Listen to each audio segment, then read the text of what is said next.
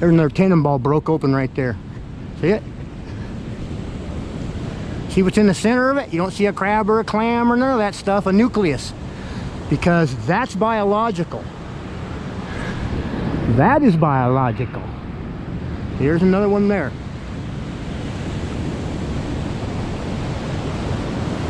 Here's another one here. There's another one in there. Okay? And there's one still anchored in whatever this is.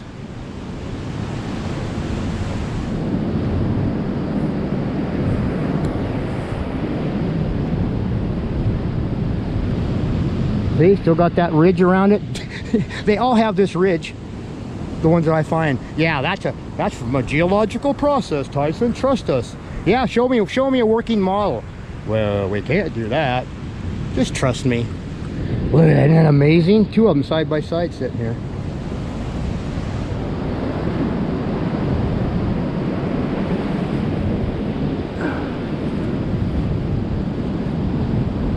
And the one up there.